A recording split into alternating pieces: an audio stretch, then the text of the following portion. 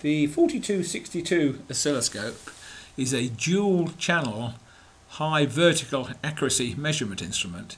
It has 16 bit uh, digitizers which give a very high accuracy in the vertical plane and this makes it very useful for audio measurements. But it still has a lot of general purpose diagnostic tools which again make it very useful for fault finding in audio systems. In this video we're going to look at an example of using the uh, diagnostic tools and the measurement tools to find a fault on a stereo audio amplifier. The current display panel has four views and these are selectable in the views menu and we can select the number of viewports and then move the individual displays to the required viewport. So in the current uh, layout we have the channel A and channel B of the stereo amplifier on the left hand side and these are the uh, time display modes. And on the right hand side again we have the channel A and channel B of the stereo amplifier and this is the spectrum mode. So here we're looking at the amplitude against frequency of the signal. So this is a in fact a 1 kilohertz signal which is being generated in the internal generator. In fact it's generating a sine wave at 1 kilohertz. Uh, other waveforms are available. And then the signal is being applied to the auxiliary input of channel A and B of the amplifier. The output is being uh, developed across a 15 ohm load and then acquired with a times 10 probe. So on channel A here we have a, a times 10 probe, other probe factors are available and the vertical scale factor here now is 20 volts to division and similarly on channel B uh, we have a, uh, a times 10 probe connected.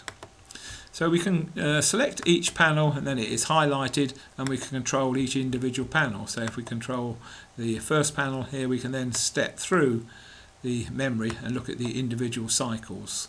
Because the memory length selected is 100,000 samples and this has been chosen to give enough resolution in the frequency domain to resolve each component of the input signal.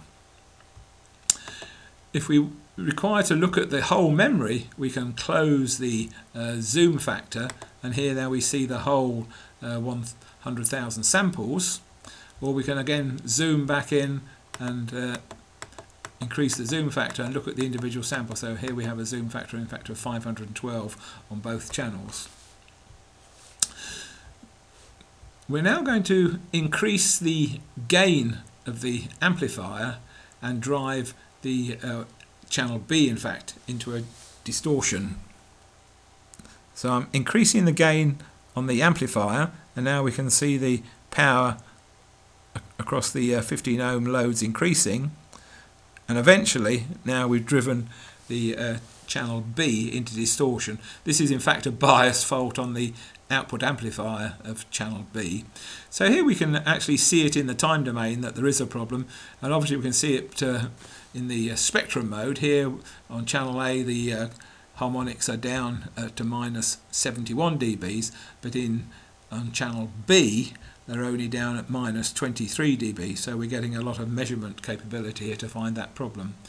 Uh, there are more measurements available on each uh, view so if I again select the spectrum view uh, we could add a, a, measurement to that view. So the signal is coming from source A and if I wanted to measure say the amplitude at the peak I could add that as a, a measurement. So here we see the measurement at peak is 18 dBs.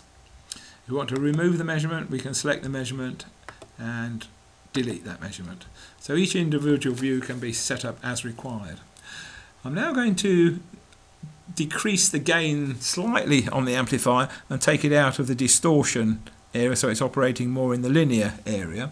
So at this point the channel A and channel B look clean but if we look in the spectrum mode uh, A is still very clean it's minus 84 dBs down the uh, harmonics but in the B channel it's still only minus 58 dB so we're starting to see some distortion already.